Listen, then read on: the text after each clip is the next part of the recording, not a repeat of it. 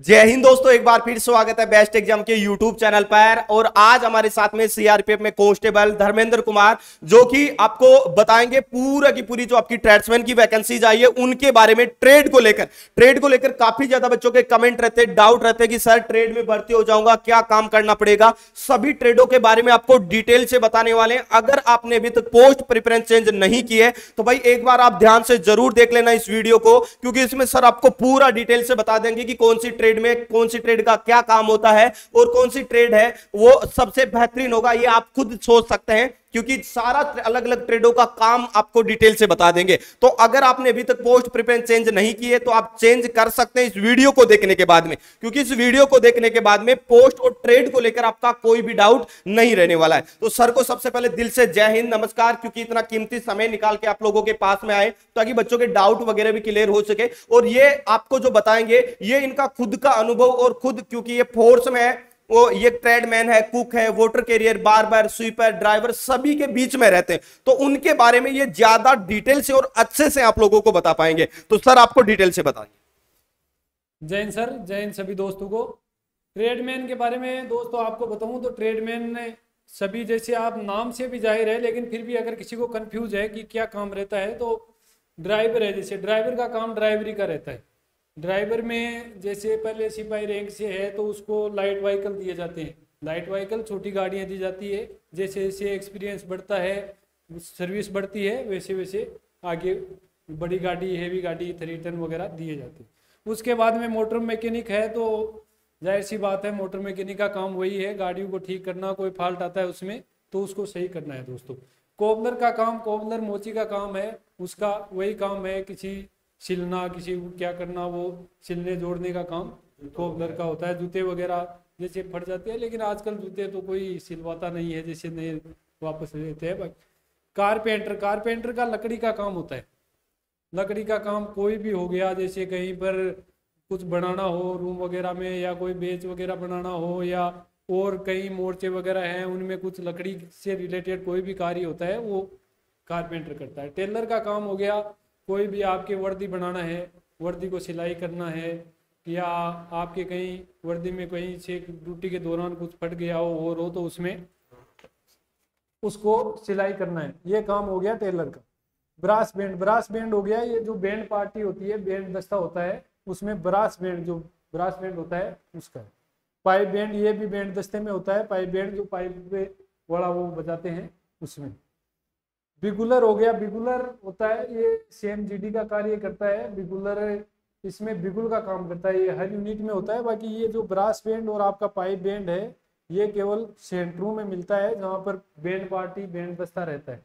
लेकिन जो बिगुलर है, वो हर यूनिट में आपको मिल जाएगा। इसका काम डेली सुबह से शाम तक का होता है, जैसे परेड सुबह होती है, उस टाइम बजाना ये अलग अलग हिसाब से बजाया जाता है, जिसकी ट्रेनिंग आपको दी जाएगी बाद में। इसके बाद में गार्डनर हो गया, उसका काम है गार्ड, जो गार्डन वगैरह या फूल वगैरह ये जो होते हैं, उनको देखभाल करना, उनकी कटाई है, वो करना ये। पेंटर का काम है पेंट पेंट करना या जैसे गाड़ियों पे लिखा जाता है, आपने देखा होगा army C R P F ये वगैरह लिखना, उसमें पेंट करना, कोई गाड़ी पुरानी हो गई है, उसको वापस रीपेंट वगैरह करते हैं। ये काम पेंटर का होता है या यूनिट में कुछ भी लिखना हो बोर्ड पे लिखना हो, कोई तो वो काम पेंटर का होता है। उसके बाद में कुक है कुक का काम आप सब जानते हैं कुक खाना बनाना काम होता है कुक का तो वो काम ये करते हैं। इसके बाद वाटर कैरियर हो गया ये भी इन्हीं के साथ ही रहता है। वाटर कैरियर का काम लगभग सेम इनका इन्हीं के साथ कुक का। हाँ कुक का नाम वाटर कैरियर दे दिया है लेकिन वाटर कैरियर इतना कंपनियों में काम नहीं रहता है वाटर कैरियर का। वैसे पानी पौधों में पानी देना वाटर कैरियर का काम होता है लेकिन ये कुक के साथ ही काम करता है।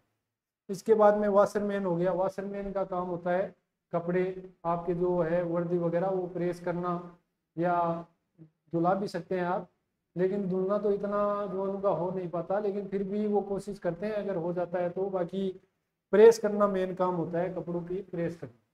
जो भी वर्दी आपकी होती है, आप दो दो, उनको दे आओ, वो प्रेस करके आपका पहुँचा उसके बाद में बार बार बार बार हो गया। बार बार का कटिंग का काम होता है। सुबह से शाम तक आपकी हेयर कटिंग करना ये बार्बर का काम होता है।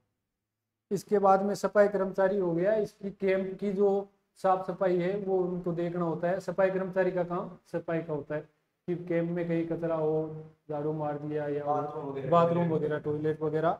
या कैंप की जो भी साफ़ सफ़ाई है इनको देखिए तो ये सर इतने पोस्ट है। थोड़ा सा इन पोस्टों के बारे में बता दो सर थोड़ा सा बच्चों को कि सबसे आपके हिसाब से, बाकी बच्चों, देखो आपकी खुद की राय है, आपको जो पोस्ट अच्छी लगती है, आप उसी पोस्ट से लगाना, क्योंकि तभी आप उस नौकरी का मज़ा ले पाएँगे। देखो, सबसे बड़ी बात यही होती है, अगर आपको लगता है कि नहीं सर, मेरे को कुक में भर्ती होना है, लेकिन किसी दूसरे ने बता दिया कि नहीं भाई, पेंटर में लगा दे तो आप उस नौकरी का मज़ा नहीं ले पाओगे। तो आपकी जो इच्छा है, वही आपको करनी है, लेकिन सर थोड़ा सा आपको बता देंगे कि इनमें से थोड़ा थोड़ा सबसे बेटर कौन सा है? सबसे अच्छा जिनको ज़्यादा आपको काम नहीं करना पड़ता है, और बाकी आप अच्छे से और आराम से आप काम कर सकते हो। थोड़ी ट्रेडों के बारे में ब्रीफ कर दो सर। ज़रूर सर, जैसे आपने बताया कि अपनी अपनी चॉइस होती है अपना अपना मन होता है कि मुझे किस ट्रेड में जाना है, वो आपकी है। लेकिन जो मुझे लग रहा है, मैं वो बता रहा हूँ कि मुझे सबसे अच्छा ट्रेड में ड्राइवर हो गया। ड्राइवर के बाद मोटर मैकेनिक ठीक है। उसके बाद में बार्बर का ठीक है। वाशरमैन हो गया वाशरमैन भी ठीक है।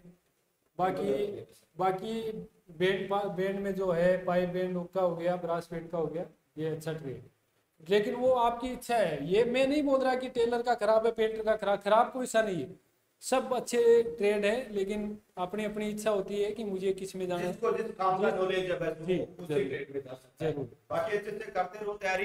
बाकी ये सारी ट्रेड है इनका सर ने जो काम बताया यही सारा काम है और आप एनएसजी वगैरह एसपीजी वगैरह सभी में जा सकते हो। राइफल वगैरह आपको मिलेगी, वर्दी आपको मिलेगी। जैसा कि आप देख रहे होंगे, सर ने जो वर्दी पहन रखी है सीआरपीएफ की वर्दी है। ऐसी वर्दी आपको भी मिलेगी, आपको राइफल भी मिलेगी। जब भी आप जाएँगे, जाते ही ट्रेनिंग के लिए जाएँगे, आपके नाम से एक राइफल है, वो अलॉट हो जाएगी भाई, जाते ही कि ये राइफल है, ये इसके नाम से है। जाते ही आपको एक राइफल आपकी अलॉट हो जाएगी और जब जब आपको काम पड़ेगा कि हाँ अभी ज़रूरत पड़ रही है, उस समय वो राइफल आपको दी भी जाएगी। तो बिल्कुल अच्छे से तैयारी करते रहो मेहनत करते रहो। इसके अलावा कोई भी आप लोगों का डाउट आप बिल्कुल कमेंट कर दीजिएगा। इसके साथ ही हमारे जो टारगेटेड बेच आ, आ रखे हैं आप सभी को पता है सीआरपी में 85 परसेंट से ज़्यादा क्वेश्चन हूबहू देखने को मिले। और मैं तो सर को कह रहा था कि सर अब की बार आपकी यूनिट में हमारे प्लेटफॉर्म से तैयारी करके बहुत सारे बच्चे आएँगे। देखो अभी भी BSF tradesman CISF tradesmen ITBP tradesman CISF driver इन सभी के टारगेटेड बेच चल रहे हैं। और आप सभी को पता है ये बेस्ट एग्ज़ाम का प्लेटफॉर्म स्पेशल टारगेटेड और डेडिकेटेड बेच लेके आता है